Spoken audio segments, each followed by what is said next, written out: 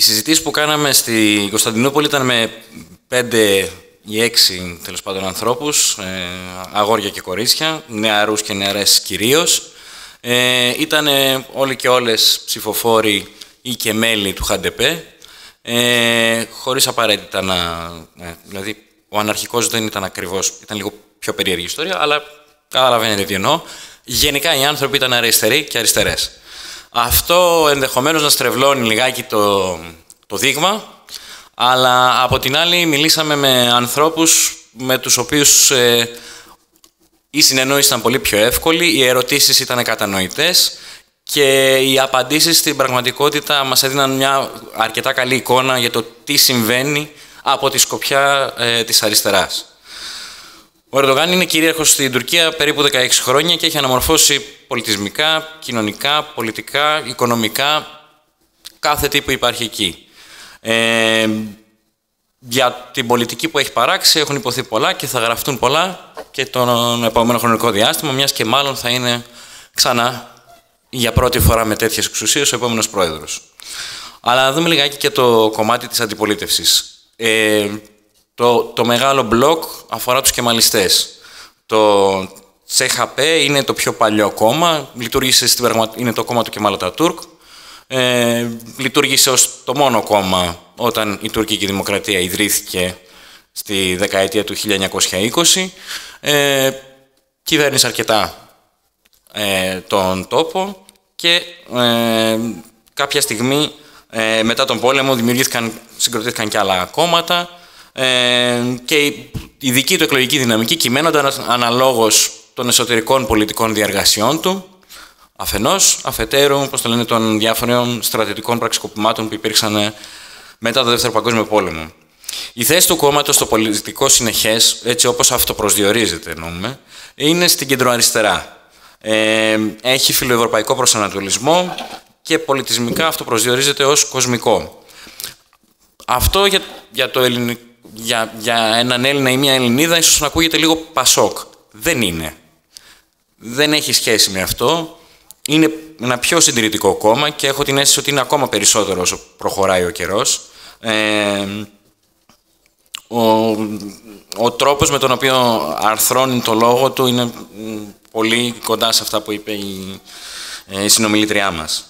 Ε, η κεμαλική όμως παράδοσή του είναι καταφανή στι προεκλογικές του συγκεντρώσεις, στα συνθήματα, στι αξιακές του πλαισιώσεις και στον, πρόεδρο, στον υποψήφιο πρόεδρο Μουχαρέμιν Τζέ. Στις εκλογές συγκροτεί μια συμμαχία στις κοινοβουλευτικές εκλογές που λέγεται Συμμαχία του Έθνους. Μαζί του συντάξσονται άλλα τρία κόμματα. Το Καλό Κόμμα, ένα κόμμα που περίπου πολιτικά μοιάζει με το Λεβέντι και την Ένωση Κεντρών. Ε, είναι εθνικιστικό, κοσμικό και μαλλικό οικονομικά φιλελεύθερο κόμμα. Αποτελείται από πρώην στελέχη των Γκρίζων Λύκων και των Κεμαλιστών. Το δεύτερο κόμμα της συμμαχίας αυτής είναι το κόμμα της Ευδαιμονίας.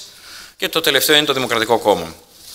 Οι Κεμαλιστές αντλούν παραδοσιακά την ε, δύναμή τους από τα παράλια του Αιγαίου, από τα αστικά κέντρα και την Κωνσταντινούπολη. Έχουν μεγαλύτερα ποσοστά στο μορφωμένο πληθυσμό, ενώ διατηρούν ισχνή παρουσία στην ε, πλειοψηφικά κουρδική νοτιοανατολική Τουρκία. Με αυτή την έννοια δεν είναι μια κομματική οργάνωση με πανεθνική εμβέλεια, ενώ η εκλογική, του, η εκλογική δυναμική τους ε, δεν ποικίλει γεωγραφικά εδώ και, αρκετές, εδώ και αρκετές εκλογικές αναμετρήσεις. Δηλαδή παραμένουν σταθερά εκεί που είναι υψηλά, είναι υψηλά, εκεί που είναι χαμηλά, είναι χαμηλά. Ε, το κόμμα είναι, όπως μας το περιέγραψαν οι πληροφορητές μας, πλήρως γραφειοκρατικοποιημένο, είναι μπλοκαρισμένο δηλαδή στην πραγματικότητα, ε, και θα μπορούσε κανείς να το προσδιορίσει ως κατεστημένο κόμμα, γιατί κυβέρνησε πολλά χρόνια, ή ως ένα κόμμα του κράτους, με την έννοια που δίνουμε στην πολιτική επιστήμη σε αυτό, που όμως έχει απολέσει την κρατική εξουσία, άρα και τους πόρους που απορρέουν από την κρατική εξουσία.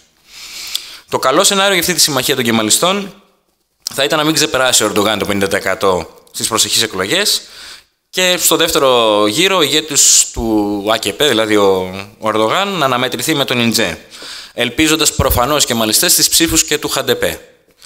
Ε, Επίσης, για τις κοινοβουλευτικές εκλογές, γιατί είναι διπλές οι εκλογές, οι κεμαλιστές προσδοκούν προφανώς ε, το ΧΑΝΤΕΠΕ, την αριστερά δηλαδή, να ξεπεράσει το 10%, διότι αν δεν το κάνει αυτό, τότε το ποσοστό αυτό θα κατευθυνθεί προς τον Ερντογάν. Μπορεί τώρα ο Ίντζε να καταφέρει κάτι τέτοιο ή ακόμα κάτι καλύτερο να εκλεγεί πρόεδρος. αυτός ο 54χρονος καθηγητής φυσικής είναι χαρισματικός, τουλάχιστον όλοι οι πληροφοριστές μας αυτό μας είπανε, είναι χωρατατζής, είναι χαμογελαστός, πράγμα που για κάποιο λόγο παίζει πολύ μεγάλο ρόλο, γιατί μας το είπαν όλοι και με μεγάλη χαρά ότι χαμογελάει. Ε, και είναι και φυσικά λαϊκιστής. Και πολύ πολύ συντηρητικός. Ε, ο Ιντζέ είναι ένας υποψήφιος αντίπαλος του Ερντογάν που για πρώτη φορά αποτελεί με έναν τρόπο αποτελεί αντίπαλο δέος, εναλλακτική. Δεν φαίνεται αυτός στα ποσοστά, αλλά αυτό ήταν το αίσθημα που, που καταλάβαμε από τους ε, ανθρώπους με τους οποίους συζητήσαμε. Ο Ιντζέ λοιπόν χορεύει, χαμογελάει, κάνει αστεία, μιλάει για τα προβλήματα της χώρας, ηρωνεύεται το μορφωτικό επίπεδο του Ερντογάν, γιατί δεν έχει πτυχίο, ενώ ο Ιντζέ έχει πτυχίο, εξηγεί με απλοϊκό τρόπο το ισοζύγιο εισαγωγών και εξαγωγών της Τουρκίας και πολλά άλλα. Ε, βρεθήκαμε σε μια προεκλογική του συγκέντρωση στο Σκουντάρ της Κωνσταντινούπολης.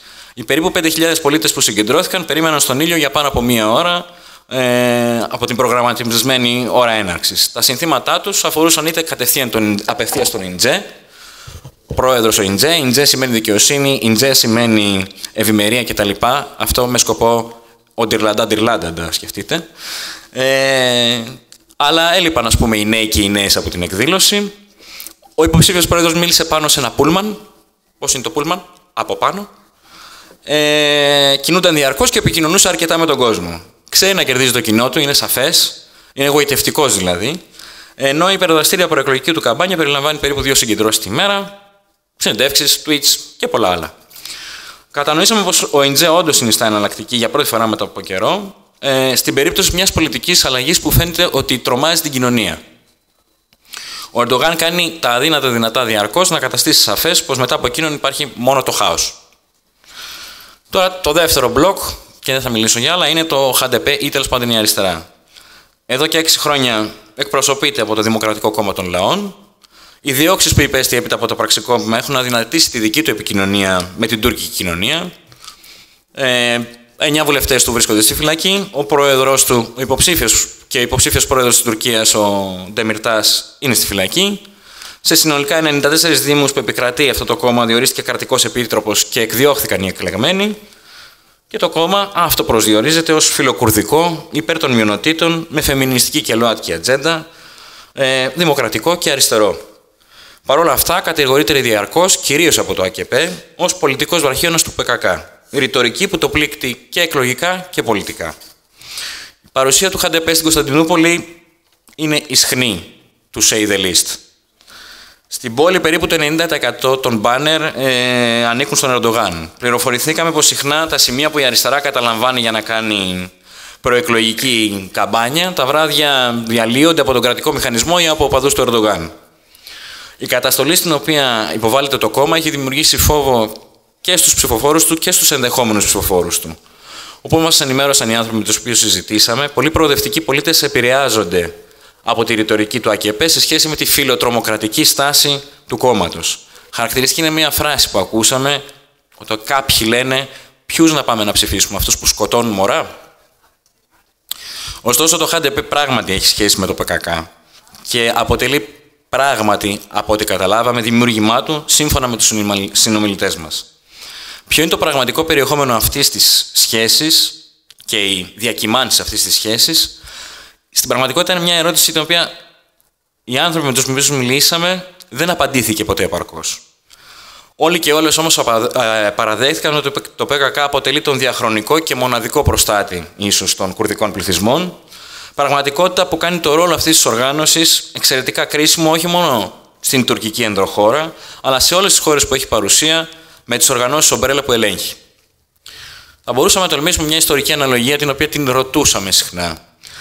Η ηρωική ιστορία του Κουκουέ στην Ελλάδα, η οργανωτική του συγκρότηση, ο πολιτικός του λόγος, βάρινε, ίσως εμπόδιζε και πάντως δημιουργούσε προβλήματα εμβέλειας στην δημοκρατική κοινοβουλευτική ΕΔΑ, κατά τη διάρκεια της δικής μας καχεκτικής δημοκρατίας.